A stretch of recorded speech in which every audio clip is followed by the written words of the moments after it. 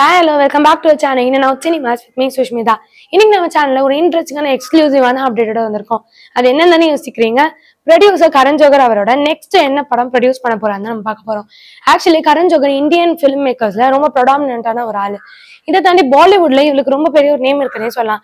நிறைய female லீட்ஸை introduce பண்ண ஒரு ஆள். கியாரா அர்பானியா இருக்கட்டும் ஆலியா பட்டா இருக்கட்டும் இவங்களோட இதுலலாம் இவர் ரொம்ப ஒரு மேஜரான ஒரு பார்ட்னே சொல்லலாம்.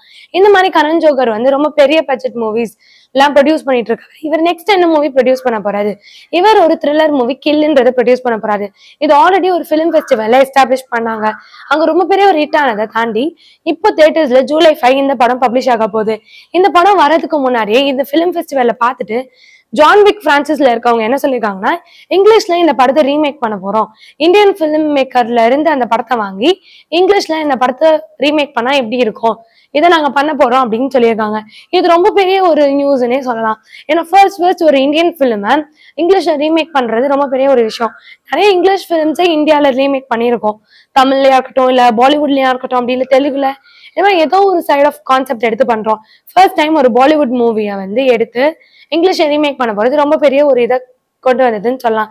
இதை தாண்டி இப்போ நம்ம நார்மலா ஒரு இந்தியன் ஃபிலிம்ல ஒரு த்ரில்லரோ ஒரு ஆக்ஷனோ பண்றாங்கன்னா அது ஒரு ஒரு மினிமல் லெவல்ல இருக்கும். இல்ல ஒரு இன்டர்பிரேட்டட் லெவல்ல இருக்கும்னு சொல்லலாம். அதுவே ஒரு ஹாலிவுட்ல நடக்குதுன்னா ரொம்ப ஒரு எக்ஸ்டெண்டா இருக்கும். கில் மூவிக்கு ஆல்ரெடி ஒரு த்ரில்லர் அண்ட் ஆக்ஷன் ஃபிலிமுக்கான ரொம்ப பெரிய ஒரு நேம் இருக்கு. இப்போ இதே விஷயம் திரும்ப ஹாலிவுட்ல வரப்போகுதுன்னும் போது அப்ப இன்னுமே மாசா இருக்கும். இந்த படத்தை விட இது மாசா இருக்கும் அப்படின்ற மாதிரியான ஒப்பீனியன்ஸ்லாம் வருது. இதை பத்தி ஃபேன்ஸும் நிறைய சொல்லிட்டு வராங்க. இதை பத்தி நீங்க என்ன நினைக்கிறீங்கன்னு மறக்காம கீழே கமெண்ட் பண்ணுங்க. இந்த மாதிரி இன்ட்ரெஸ்டிங்கான சினிமா அப்படி மறக்காம சினிமா சினிமாஸை லைக் பண்ணுங்க ஷேர் பண்ணுங்க கமெண்ட் பண்ணுங்க சப்ஸ்கிரைப் பண்ணிடுங்க.